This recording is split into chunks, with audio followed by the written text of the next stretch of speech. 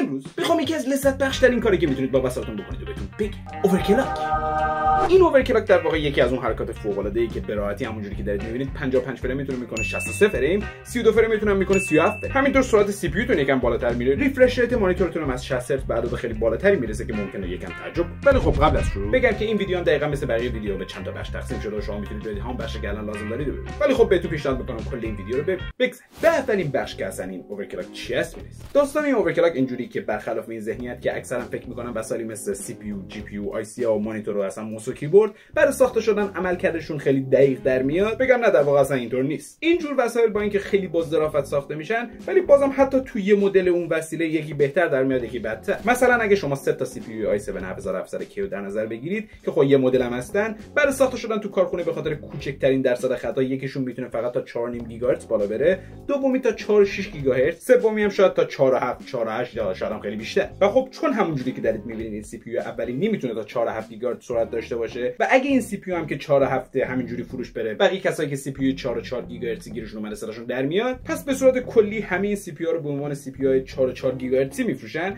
ولی شاید بالاتر بردن سرعتش براتون می‌ذارن حتی از اون گذشته ممکن این CPU اولی مثل CPU آخری تا 4.7 گیگاهرتز هم مثلا کار کنه ولی وقتی روی سرعت داره کار می‌کنه به شدت داغ کنه. و خب فلسفه این overclock هم در واقع همچین چیزیه. زیادتر کردن سرعت یه وسیله که به دلایل خاصی سازندش نخواسته این کار انجام بده. و همونجوری هم که از این قضیه پیداست بهتر overclock شدن وسایلتون یکم به شانستون هم رفته بگذریم. اولین قطعه که می‌تونه overclock بشه در واقع کارت گرافیکه. یه خوبیه که کارت گرافیکا دارن اینه که هم overclock کردنشون خیلی خیلی آسونه و هم تقریبا همه مدل‌ها رو میشه overclock کرد. حتی یه کارت خیلی ضعیفی مثل همین GT 730 که این پشتم قابل overclock کردن. چیزی که برای overclock کردن کارت گرافیکا لازم دارید فقط یه برنامه است. برنامه tweak کردن GPU این برنامه رو خیلی از شرکت‌ها درست کردن. مثلا MSI اومده MSI Afterburner رو ساخته یا EVGA اومده EVGA Precision X1 رو ساخته. ایسوس هم Tweak 3 رو ساخته NZXT هم NZXT CAM رو ساخته. همینطور شرکت های دیگه هم مثل گیگابایت و بقیه هم یه همچین برنامه‌ای دارن. البته خب اگه شما مثلا کارت گرافیکتون ایسوس می‌تونید برنامه MSI روش نصب کنید یا اصلا کارت گرافیکتون EVGA می‌تونه برنامه ایسوس روش نصب کنید. چون در واقع این شرکت فقط سازنده این برنامه و برنامه‌های مختلف روی کارت گرافیک های مختلف کار می‌کنه. همینطور شما همین الان هم می‌تونید برید همه این برنامه رو دانلود کنید چون در واقع این برنامه اصلا free البته خب همونجوری که می‌دونید اینجا ایرانه. تنها فرقی که برنامه free با بقیه برنامه داره اینه که قبل اسمش رو می‌تونید هم فارسی بنویسید دانلود هم انگلیسی. ولی اگر کدوم از این برنامه ها رو که خواستین دانلود کردین می‌بینید که از نظر ساختاری تقریبا همشون با هم یکی ان فقط یکم شکل و شمایلشون فرق داره. مثلا هر سه تا یه بخش به اسم core clock دارن که البته توی ایسوس نوشته GPU boost clock توی EVGA هم نوشته GPU clock که هر هم در واقع یکی ان سرعت هسته کارت گرافیک بعدی هم memory clock سرعت VRAM یا همون حافظه کارت گرافیکتون سومی هم ولتاژ کارت که خب اسمش روشه. همینطور سرعت فن کارت گرافیک و آخری هم limit های گرما و power کارتتون. و نمی‌دونم الان یکم شاید گیج شده باشین ولی باور کنید کار با این برنامه واقعا خیلی ساده است. فقط کافیه ذره باهاشون وقت بگذارید ولی خب قبل از وارد شدن به اینکه چجوری و چقدر باید مقدار اینا رو عوض کنید بگم یه سری قابلیت های دیگه هم این برنامه دارن که بهتره بدونید. مثلا تو این قسمت ایسوس Tweak 3 می‌تونید یه برنامه به نام جی پی رو باز کنید که تمام جزئیات کارت گرافیکتون رو میگه. یا توی EVGA یه برنامه به اسم power است که اگه توش اسکن بزنید سیستمتون رو آنالیز می‌کنه و مقدار power ی که سیستمتون لازم داره هم بهتون میگه و همینطور یه سری مدل power هم بهتون پیشنهاد می‌کنه. البته خب کاملا تستش نکردم ببینم قسمتش درست کار می‌کنه ولی خب بالاخره هست. یا توی MSI Afterburner توی setting آخرین قسمت نوار چند تا skin رو می‌بینید که در واقع skin های برنامه که اگه دوست داشتین هم می‌تونید هر کدوم از اینا رو بزنید ولی خب از این به بعد ویدیو کلا overclock کارت گرافیک رو با MSI Afterburner رو با این skin می‌خوام جلو ببرم. اولین حرکتی که برای overclock کردن کارتتون باید بزنید اینه که گزینه‌های power limit که محدوده یا limit برق کارت گرافیک و temperature limit یا همون temp limit که محدوده مقدار گرمای کارت رو بین 10 تا 20 درصد زیاد کن. این گزینه‌ها کارشون اینه که وقتی زیادشون کنید باعث میشن کارت گرافیک با برق بیشتر و گرمای بیشتر هم کار کنه. و خب همین هم کاری می‌کنه که شرایط overclock شدنشون خیلی خیلی بیشتر بشه. و همونجوری هم که دارید می‌بینید هر دو تا با هم دیگه زیاد کم میشن. اگه می‌خواد فقط یکی رو زیاد کنید این گزینه رو بعد بزن ولی خب بهتر هر دو تا رو یک کوچولو اونم با هم دیگه زیاد کنید. گزینه‌های بعدی هم که میشه دستکاریشون کرد. اولی سرعت هسته کارت گرافیکتونه که جاش اینجاست و هم می‌تونید 90 تا کمش کنید که هیچکی دوست نداره این کار انجام بده و هم هزار تا زیادش کنید که هیچکی نمی‌تونه این کار انجام بده. چون هیچ کارت گرافیکی انقدر قدرت نداره. همینطور سرعت مموری کارتتون که اونم اینجاست که این گزینه هم تقریبا 500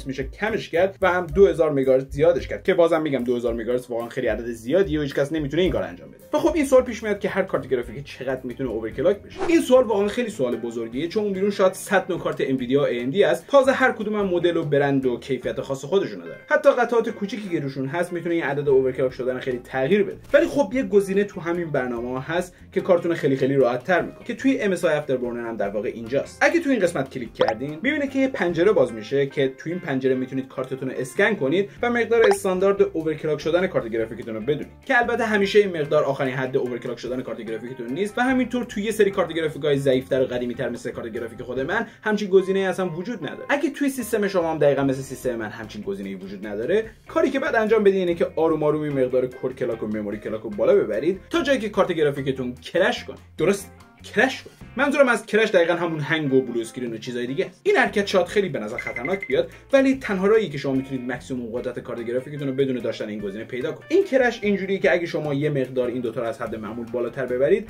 مثلا یهو ببریدشون روی مثبت 400 500 مگاهرتز. اتفاقی که میفته اینه که کارت گرافیکتون unstable میشه و درجا درایور کارت گرافیکتون دستور بسته شدن برنامه رو میده. ولی خب همچین چیزی خطرناکه. باید بگم تقریبا نه. از لحاظ تئوری واقعا اتفاق خاصی در نمیفته که بزنه اصلا کارتتون رو بسوزه فقط درایور کارت گرافیکتون دستور میده که ویندوز اون برنامه رو ببنده بعدش هم کارت گرافیکتون برگرده به حالت اولش ولی خب شاید بتونه تو همون لحظه فشار خاص خودش به کارت گرافیک بیاره. پس اگه نمی‌خواید ریسک کنید در شرایطی که این گزینه رو ندارید یا نمی‌خواید استفاده کنید مقدار معمول overclock شدن همه کارت برای core clock بین 100 تا 150 مگاهرتز برای memory clock هم بین 200 تا 250 مگاهرتز البته خب همونجوری که می‌دونید همه کارت با هم دیگه فرق دارن منم خب همه رو تست نکردم. ولی خب این عدد یعنی 100 روی core clock و 200 روی memory clock یه عددیه که تقریبا همه کارت باید بهش برسن. حتی کارت گرافیک GT 730 منم می‌تونست تا 160 مگاهرتز overclock بشه. تازه از اون گذشته کارت گرافیک 950 من تا 225 مگاهرتز روی هسته overclock می‌شد و تا شاید 300 مگاهرتز روی memory clock و اگه فقط 10 تا دونه روی هستش سرعت اضافه می‌کردین مثلا از 225 روی 235 یا 240 میذاشتین گلیچ سخت افزاری می‌گرفت همین قرمز قرمزایی که روی صفحه می‌بینید که اکثرا هم بازم باعث کرش می‌شد که خب گفتم اونقدر خطرناک نیست. خودم شاید تا حالا 50 بار تا کرش کردم. چیزی که واقعا می‌تونه به سیستمتون فشار بیاره و عمرش کم کنه گزینه بعدیمون یعنی ولتاژ. این در واقع همون گزینه ای که بهتون پیشنهاد می‌کنم هیچ وقت بهش دست نزن چون زیاد کردن این گزینه در واقع یه جورایی مساویه با کمتر شدن عمر کارتتون و همینطور گرمای بیشتر. البته خب این گزینه هم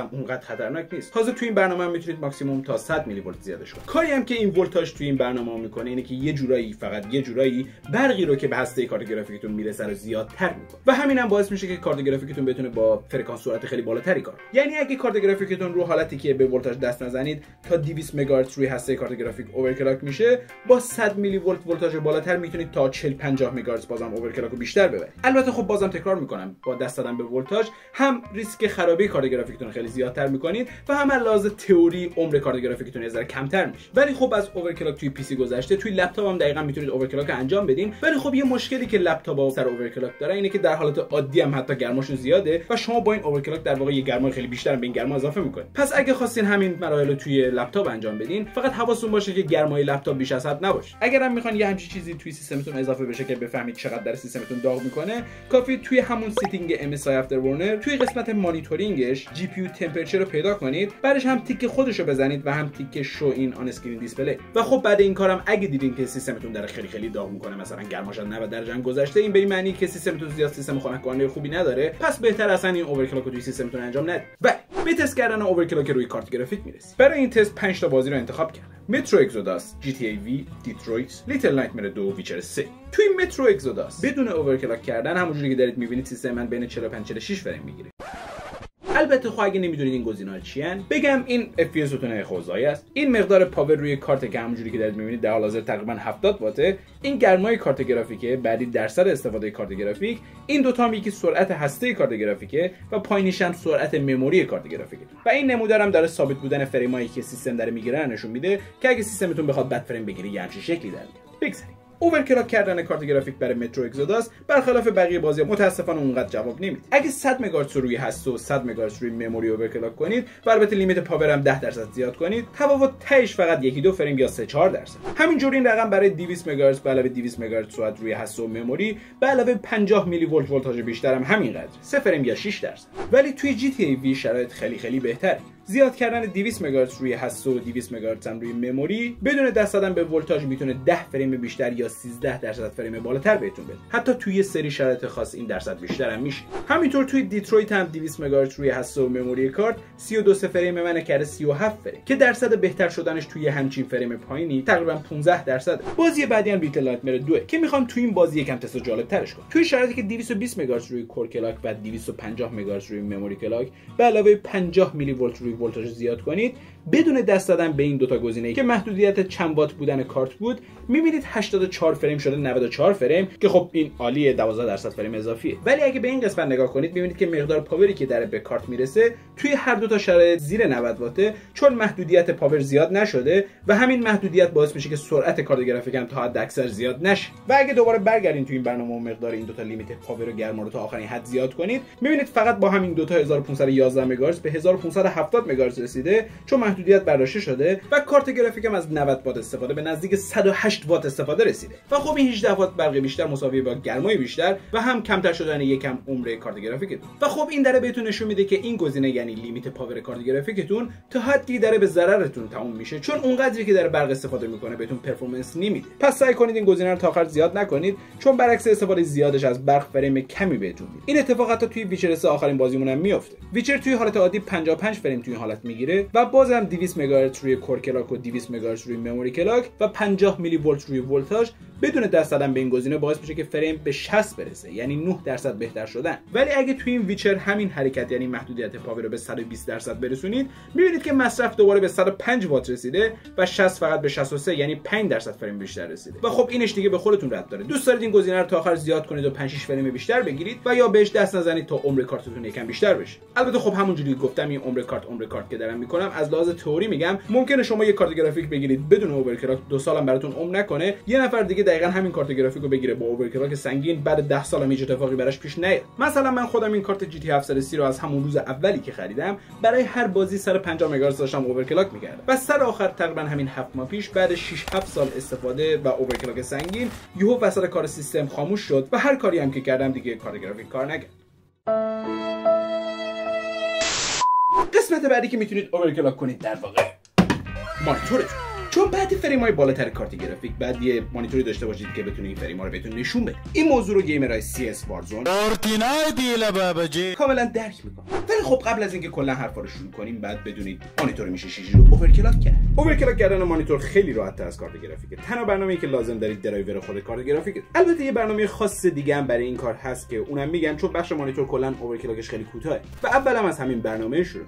اسمش Custom Resolution Utility وقتی که گرفتین و بازش کردین یه همچین چیزی براتون میاد که فقط کافیه توش دو تا قسمت رو دست بزن Standard Resolution و Detailed Resolution ولی قبل از اینکه کلا برید تغییرشون بدین باید یه چیزی رو در مورد مانیتورتون بدون. اینه که مانیتورتون آخرین حد resolution با refresh که می‌تونه به صورت عادی support کنه در واقع چقدر؟ پیدا کردنش هم اینجوری که اول باید کلیک راست کنید و توی control panel کارتتون تو قسمت change resolution ش باید روی بالاترین resolution توی لیست کلیک کنید. بعدش هم اینجا ببینید که آخرین سرعتش چقدره. که اینجا دارید همونجوری که می‌بینید برای من 1440 در 900 75 هرتز. همینطور رو resolution های پایینتر هم مثل 1280 یا 1024 هم بازم همین 75 هرتز سرعت داره. و خب بعد از اینکه فهمیدین آخرین حد resolution با refresh rate که روی مانیتورتون هست چقدره می‌تونید وارد برنامه بشید. و تو این برنامه هم اول باید بیاین توی قسمت Standard Resolution و روی Add کلیک کنید. تا این بالا بتونید resolution ی که می‌خواین رو انتخاب کنید و پایینش هم فرکانس همون resolution ی که انتخاب کردین رو وارد کنید. و احیانا اگر resolution ی که می‌خواین توی لیست نیست می‌تونید بیاین آخرین گزینه رو یعنی Add Resolution انتخاب کنید و یه همچین پنجره براتون باز میشه که می‌تونید اینجا طول اینجا عرض و سر آخرم refresh rate وارد کنید. ولی تو این قسمت یه حرکتی رو اصلا نباید بزنید. نباید هیچ resolution ی رو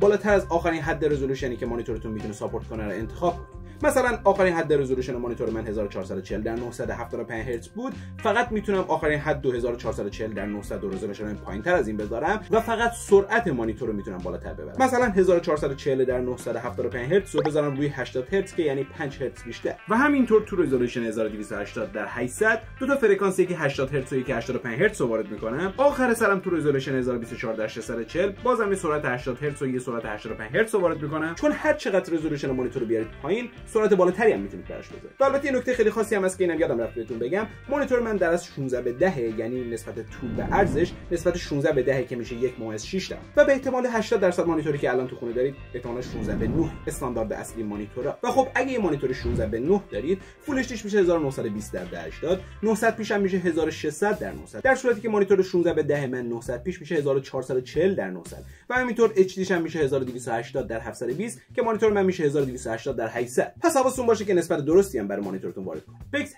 سر آخرم که کارتون تموم شد و تمام resolution که خواستین و با refresh rate مخصوص خودشون وارد کردین فقط کافی که OK رو بزنید برنامه رو ببندین یه دور سیستمتون رو reset کنید. بعد از اینم که سیستمتون بالا اومد می‌تونید برید داخل setting که ببینید فرکانس های بالاتر هم وارد شد ولی یه لحظه کلا قضیه رو تا همینجا نگه دارید چون در واقع یه روش خیلی ساده ترم برای این کار وجود داره که اصلا لازم نیست توی استارت اگه شما چه کارت گرافیک های انویدیا و چه AMD رو دارید با کنترل پنل مخصوص کارت گرافیک خودتون هم می‌تونید مانیتورتون رو overclock کنید. اگه کارت گرافیک های انویدیا رو دارید باید اول همونجوری گفتم کلیک راست کنید برید توی کنترل پنل کارت گرافیکتون بعدش هم گزینه change resolution انتخاب کنید. بعدش هم بیان پایین گزینه که نوشته custom رو کلیک کنید. وقتی هم که custom رو زدین می‌بینید که دوباره یه صفحه باز میشه که دوباره باید این تیکو بزنید و دوباره هم این گزینه رو انتخاب کنید. و خب اینجا دقیقا همون جایی که راحت می‌تونید همون کاری که داخل اون برنامه کردین و اینجا هم بکنید. اصلا هم نگاه به ظاهر سختش نکنید فقط یه گزینه بیشتر از اون برنامه اینجا فقط کافیه طول بنویسید. اینجا عرض پایینم که فرکانس مانیتور رو و این پایینم گزینه است که فکر کنم مدل های خاص نشون دادن همین رزولوشن فرکانس رو روی مانیتورتون مشخص بکنه ولی خب فرقی که اینجا با اون برنامه هست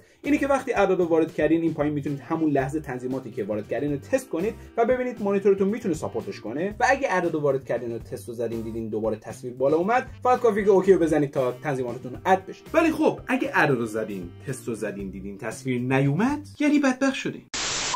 نه در واقع اتفاق خاصی نیفتاده فقط کافیه Escape رو بزنید تا دوباره همه چی برگرده سر جا اولش. و الان فرصت خیلی خوبیه که بگم اگه یادتون باشه تو برنامه قبلی دو تا تیکر رو گفتم ولی فقط یکیشو نشون دادم. و الان بگم تو این برنامه هم تو قسمت بالا یعنی detail resolution اگه روی add بزنید ببینید که یه همچین چیزی دوباره باز میشه که می‌تونید اینجا همون کاری که داخل درایور داشتین می‌کردین هم انجام بدین. فقط یکم جای گزینه ها فرق داره. داستان کلی overclock در واقع همچین چیزیه. عدد رو وارد می‌کنید تست رو می‌زنید. اگه تصویر بالا اومده OK داد یعنی قبول کرده و شما حتی می‌تونید refresh rate مانیتور رو یه ذره برای همون رزولوشن بالاتر ببرید ولی اگه زدین و تصویر تاریک شد به معنی که قبول نکرده و شما باید دوباره refresh rate پایینتر ببرید. و خب اینقدر باید این حرکت رو تکرار بکنید تا برای هر رزولوشن بتونید بالاترین سرعت رو پیدا کنید. اگرم خواستید این تنظیمات اضافی که گفتم مدل رو عوض کنید می‌تونید روی off بذارید. چون تو تستایی که من کردم این اصلا بهتر جواب می‌داد. آخر آخر داستانم اگه این صفحه رو ببندیم اینجا همه اعدادی که وارد کردین هست می‌تونید هر کدومی که خواستین رو با این گزینه حذف کنید یا هر کدومی که خواستین edit کنید هم با این گزینه edit کنید. ولی خب از اینکه حالا چجوری باید overclock کنید به این می‌رسین که واقعا هر مانیتور چقدر می‌تونه overclock بشه.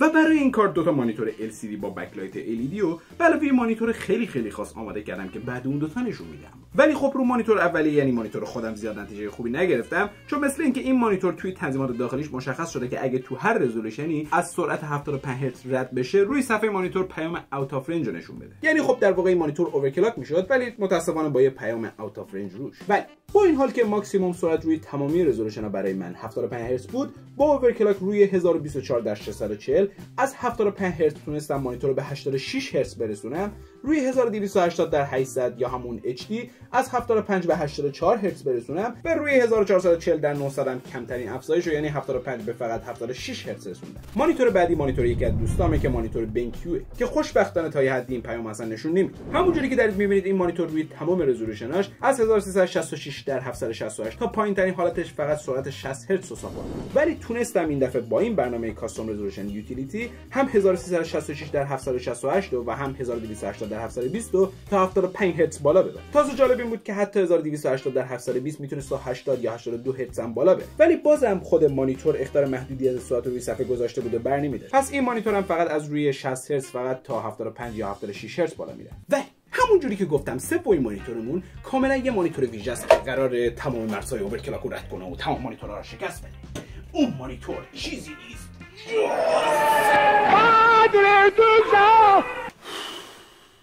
احتمالا الان با دیدن این مانیتور هم دلسرد شدین ولی مطمئنا بعد از اینکه نتایج رو ببینید بهش ایمان میارید به خاطر اینکه این مدل مانیتورها که بهشون CRT می‌گفتن نسبت به LCD LED یا OLED الان یه نقطه قوت دارن اونم اینه که فوق العاده اوورکلاک شوندن یعنی این مانیتور که در واقع یکی از مانیتورهای خیلی معمولی اون موقع بوده می‌تونست روی ماکسیموم رزولوشنش که 1280 در 1024 بوده 60 هرتز رو بگیره و روی رزولوشن پایینتر مثل 1024 در 768 یا 800 در 600 تا 85 هرتز سرعت داشته باشه. البته اینم بگم که درسته می‌دونم چه اصلا اون 1440 در 900 چه اصلا این 800 در 600 رزولوشن های هستن که دیگه اصلا الان منسوخ شدن و کسی دنبالشون نمیره. ولی کاری که الان دارم اینجا می‌کنم اینه که ببینم توی رزولوشن های پایینتر از حالت عادی این مانیتورها چه سرعت هایی می‌تونن بگیرن و واقعا چقدر می‌تونن overclock بشن. و اگه شما مثلا خونه یه مانیتور 4K دارید می‌تونید روی full HD امتحان کنید چون در واقع full HD یک چهارم 4K و ببینید چقدر می‌تونه سرعت بگیره و چقدر می‌تونه overclock بشه. بگذریم. این مانیتور روی 1280 در 1024 فقط می‌تونست تا 60 هرتز سرعت داشته باشه ولی تونست با overclock این عدد رو به 68 هرتز برسونه.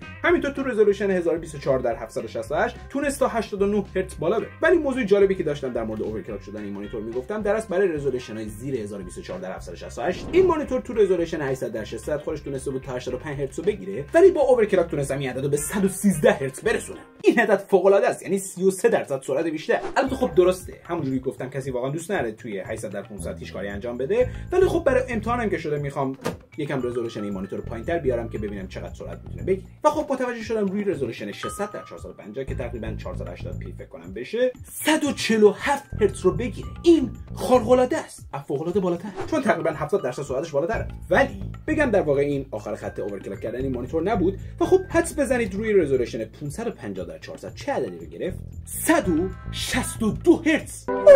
و خب همونجوری که دارید می‌بینید هم خود ویندوز قبول کرده که این عدد وجود داره و هم خود مانیتور اگه اینجا رو ببینید نوشته 162 فکر کنم هیچ کلمه نیست واقعا وصف کننده سرعت باشه. چون تقریبا 90 درصد سرعت بالاتره. این اعداد واقعا عجیب غریبه. ولی وقتی یه search کردم متوجه شدم که اصلا عجیب غریب نیست. چون یه مانیتوری مثل سونی Trinitron یا یه همچین مانیتوری جدا از اینکه خودشون full HD بودن می‌تونستن روی HD تا 145 یا 150 هرتز overclock بشن و روی 800 در 600 تا 200 هرتز سرعت داشته باشه. ولی خب متاسفانه و خوشبختانه هیچ جای دیگه همچین مانیتوری اثری ازش نیست. و دیگه باید با این مانیتور خدافظی کنید. بگذریم به overclock کردن CPU ولی خب قبل از اینکه بریم کلا بخش CPU رو شروع کنیم همین اول بگم من تا حالا هیچ CPU overclock شونده نداشتم و تا حالا هیچ کدومشون هم overclock نکردم. پس ممکنه این قسمت به خاطر بی‌تجربگی من یکم مشکل دار باشه. و خب از این حرفا گذشته overclock کردن CPU هم یکم سخت‌تره و هم یکم تخصصی تر یعنی اینجوری بگم که موقع overclock کردن CPU ممکنه یه سری دکمه رو اشتباه بزنید یا ولتاژ اشتباه وارد کنید و این باعث میشه که یهویی CPU تون بسوزه. البته خب نه همینقدر یهویی ولی خب امکانش هست. ممکنه بعد crash و blue screen به خاطر overclock کردن این CPU فایلای ویندوزتون ناقص بشه و همین باعث میشه که اطلاعات شما هم باش پاک بشه. یا حتی می‌تونه مادربردتون رو خراب کنه چون در واقع برق CPU از روی مدار VRM روی مادربرد تامین میشه و فشار آوردن به این مدار می‌تونه هم ریسک خرابیشو بالاتر ببره و هم عمرش کمتر کنه. پس لطفا بعد دیدن این قسمت CPU مستقیما CPU تون overclock نکنید چون ممکنه یه سری نکات رو نگم و به خاطر همونا یه مشکل این وسط پیش بیاد و CPU تون خراب بشه. ولی همونجوری که گفتم overclock کردن برای CPU یکم با مانیتور کارت گرافیک فرق داره چون اولا هر CPU overclock نمیشه و دوما دو تا روش برای overclock ش هست. ولی قبل از اینکه حالا چجوری overclock ش کنید باید بدونید که در واقع چه CPU overclock اگه شما یه CPU AMD اونم سری Ryzen ش دارید مثل Ryzen 5 3600 یا Ryzen 7 3700 اصلا نگران overclock کردنش نباشید چون همشون در واقع overclock میشه. ولی اگه CPU تون برای شرکت Intel فقط سریای خاصی overclock میشه. سریای overclock شدنی Intel سریایی که یک K دارن مثل 12700 K یا 7700 K دو KF دارن مثل 12700 KF یا 10600 KF و همینطور KS و KB دارن. و همینطور یه سریای دیگه به اسم X و XE هم هستن که سریای workstation محسوب میشن که اینا هم خیلی خوب overclock میشه. یعنی یه جورایی توی CPU Intel هر جا K و X رو دیدین به معنی که اون CPU می‌تونه overclock بشه. اگر هم می‌خواین در مورد تمام مدل های CPU که اومدن و همینطور هر مدل چه خواصی داره و برای چه کاری باید استفاده بشه و چیزای دیگه می‌تونید این ویدیو رو توی کانال پیدا کنید و ببینید. و حالا تو شرایطی که فهمیدین CPU تون overclock شدنیه چجوری می‌تونید CPU تون overclock کنید؟ همونجوری که گفتم overclock کردن CPU یکم با کارت گرافیک و اینا فرق داره. چون CPU ها می‌تونن هم بدون برنامه داخل خود سیستم سخت افزاری overclock بشن و هم با برنامه. و خب یه مشکلی که مدل سخت افزاریش داره اینه که فوق العاده می‌تونه سخت باشه. بذارید یه دور سرسری بگم مدل سخت افزاری چقدر می‌تونه سخت باشه. اول باید سیستمتون رو reset کنید موقع روشن شدن تون delete رو بزنید تا BIOS سیستم بالا بیاد. این BIOS هم در واقع یه برنامه‌ای که تمام دیتا و قطعاتی که روی مادربرد وصل شدن رو کنترل از کارت گرافیک و CPU بگیر تا اینکه چند تا هارد یا SSD توی سیستم وصل شده سرعتشون چقدره ولتاژ وسایل توی سیستم چند ولت یا فن باید چقدر تند بشه و مشکلم اینه که این BIOS برای مدل‌های مختلف مادربرد می‌تونه کاملا متفاوت باشه و خاصیت‌های مختلف هم داشته باشه. و از این حرفا هم گذشته اشتباه زدن بعضی از این گزینا می‌تونه کاری بکنه که سیستمتون خاموش بشه و دیگه روشن نشه. و شما هم باید بین این همه گزینه بگردین و دو تا گزینه به اسم core voltage و CPU frequency و که تو مدل های مختلف برند به اسم core ratio CPU multiplier یا CPU core clock شناخته میشن هم پیدا کنید. بعد نسبت به قدرت CPU تون همینطور مقدار overclock شدنش فرکانس CPU تون رو بالاتر ببرید. ولی به جاش می‌تونید همین الان برید یه برنامه به اسم Intel Extreme Tuning Utility رو برای ویندوز دانلود کنید و مثل کارت گرافیک و مانیتور CPU تون overclock کنید. ولی خب چرا حالا این همه روش سخت افزاری گفتم؟ چون تقریبا 80 درصد کسایی که CPU شون overclock می‌کنن روش سخت افزاری رو برای overclock کردن CPU شون انتخاب می‌کنن. چون در واقع توی روش سخت افزاری دستتون خیلی بازتره. ولی خب به خاطر اینکه توضیح اینکه CPU داخل سخت افزار چجوری overclock میشه خیلی طولانیه. و همینطور من در حال حاضر خیلی تجربه این کارو ندارم. باید بگم که فقط روش نرم افزاریشو می‌تونم بهتون بگم. بگذار این برنامه که داشتم در موردش صحبت می‌کردم یعنی Intel Extreme Tuning Utility که البته بازم دو تا مدل دیگه به اسم ASUS و MSI ازش وجود داره که همون معمولی فقط یکم screen ش فرق داره. و اولش هم نوشته MSI یا ASUS Intel Extreme Tuning Utility یه برنامه‌ای که خیلی شبیه همون MSI Afterburner و ایناست اگه همه الان برید هر کدوم از این برنامه رو دانلود کنید و بازشون کنید می‌بینید که این برنامه هم تقریبا ساده است. کل این قسمت تا این قسمت فقط اطلاعات سیستم رو نوشته که شما فعلا برای overclock لازم نداره پس در حال حاضر نمی‌خواد اصلا بهشون دست بزنید اینجا می‌تونید پنجره مختلف رو باز کنید که یکی از درد بخوراش benchmark ه که خب می‌تونید از CPU benchmark بگیرید ولی خب برای overclock شما باید اول پنجره advanced tuning رو باز کنید و بعد روی all control کلیک کنید. قبل شروع هم اول باید چند گزینه رو پیدا کنید. تنظیماتی رو که باید پیدا کنید یکیش Enhanced Intel SpeedStep Technology و دومی core ICC max وقتی هم که پیداشون کردین فقط حواستون باشه که روی enable باشه. گزینه بعدی هم که باید پیدا کنید ولتاژ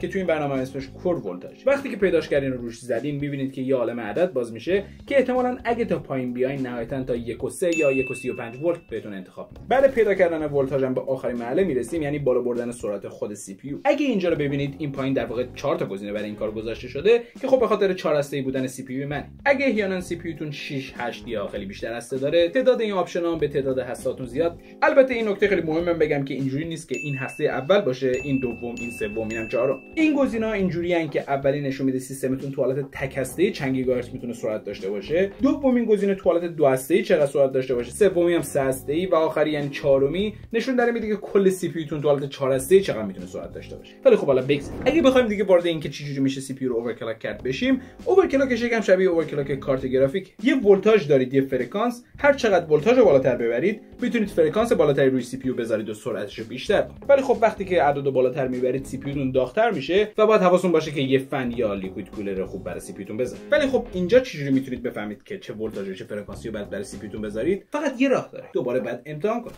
مثلا اگه همین الان CPU در حالت عادی روی 3 و 4 گیگاهرتز و ولتاژ روی 1.25 ولت اولین کاری که باید بکنید اینه که ولتاژ رو یکم بالاتر ببرید. مثلا از 1.25 ببرید روی 1.28 و همینطور بیاین پایین روی چهارمین گزینه که داره میگه تمام هسته‌های CPU چقدر سرعت داشته باشن یک دهم گیگاهرتز این عدد زیادتر کنید. اگه apply زدین و دیدین کار کرد بهتون تبریک میگم شما CPU تون overclock و خب جدا از اینکه الان CPU تون یک دهم گیگاهرتز overclock شده که در واقع عدد خیلی کمی نیست شما می‌تونید فرکانس CPU رو دوباره یک دهم دیگه ببرید بالا. اگه این کارو کردین و apply زدین و دیدین کار نکرد اولین کاری که باید بکنید اینه که دوباره ولتاژ ببرید بالاتر که یه جورایی برق بیشتری به CPU برسه که ببینید روی این ولتاژ می‌تونه کار کنه و اگه زدین و دیدین دوباره کار نکرد این به معنی که این دیگه آخر خط overclock کردن CPU تونه و دیگه فرکانس CPU از این عدد بالاتر نمیره یعنی در واقع کاری که دارید اینجا می‌کنید اینه که یک کوچولو یک کوچولو فرکانس و ولتاژ بالاتر ببرید که ببینید رو چه ولتاژ و فرکانسی دیگه CPU okay. البته خب این عددی که الان گفتم به خیلی چیزای دیگه ربط داره. یکیش مثل مدل CPU تون یکیش مثل کیفیت CPU تون یکیش کیفیت مادربردتون یا حتی خنک کننده خوب. البته تو یه سری CPU ها احتمالاً جدیدتراش یه گزینه دیگه به اسم VF Curve هست که اینجا براتون وجود داره که بهتون مقدار دقیق ولتاژ نسبت به فرکانس رو میده. مثلا تو این CPU داره نشون میده که توی 4.5 گیگاهرتز حداقل باید ولتاژتون 1 و 4 ولت باشه. یا مثلا توی 5 گیگاهرتز بعد 1 و نیم ولت باشه که واقعا این عدد خیلی زیاده. بگذاریم. بخش overclock کردن برای CPU هم تموم شد و خب همونجوری که دارید می‌بینید اینجا هیچ CPU برای تست کردن نداریم. و خب الان واقعا نمی‌دونم بخش overclock کردن برای CPU رو کاملا متوجه شدین چون در واقع یکم هم سخت هم تخصصی داره. تازه کل این چیزایی که الان گفتیم فقط overclock کردن CPU با برنامه overclock کردن CPU توی خود بایوس در حدی می‌تونه تخصصی باشه که اگه شما قطعات خوب به علاوه نیتروژن مایع داشته باشید موقع overclock level تون از خیلی از دکتران بالاتر میره. حداقل از خیلی از دکترای عمومی. ویدیو تقریبا تموم شد فقط حواستون باشه که چند تا نکته حتما انجام بدید. یک هیچ وقت بدون یه خنک کننده خوب هیچ وسیله overclock نکنید و اگرم گرماش خیلی زیاد شد اصلا سعی کنید overclock نکنید. دو اگه یه وسیله بعد overclock رفتار خیلی عجیب غریبی نشون داد مثلا توی کارت گرافیک قرمز قرمز شد یا داخل مانیتور برفکی شد یا هر چیز دیگه شد این خب یعنی خطر و دیگه overclock نکنید سه. هیچ وقت سعی نکنید مقدار ولتاژ رو برای CPU تون از مقدار استانداردش بالاتر ببرید چون ممکنه درجا بسوزه. کلا ولتاژ CPU های چه اینتل چه AMD در طول زمان بین 1 تا 1.5 ولت بوده. اکثرشون بین 1 و 25 تا 1 و 3 ولت و چهارم اینه که هر گزینه رو که خواستین تغییر بدین قبلش می‌تونید search داخل اینترنت بکنید تا کارشو بفهمید. و لطفا هم اصلا فارسی اینا یاد نگیرید چون به نظرم مزخرفه مثلا SpeedStep یک سری فناوری مقیاس گذاری فرکانس پویا است که در برخی ریز پردازنده‌های اینتل تعبیه شده و اجازه می‌داد سرعت clock پردازنده توسط نرم افزار تغییر پویا کنه به خدا فقط 5 دقیقه طول می‌کشه بفهمید پویا دیگه کیه. یا اینی که اینتل Xeon 24 گیگاهرتزی 64 بیت 12 نخ. What the fuck مگه سیگاره؟ یا از همه اینا بالتر اینه. یه اصطلاحی توی سیستم وجود داره به اسم bus speed که اصلا الان نمی‌خوام باز کنم چی و اینا. شاید مثلا بدونید ولی خب یه سری تصمیم گرفتن اینم فارسی سازی کنن و به جای bus speed بنویسن سرعت اتوبوس. کلمات معادل دیگر جهت رواج فرهنگ فارسی.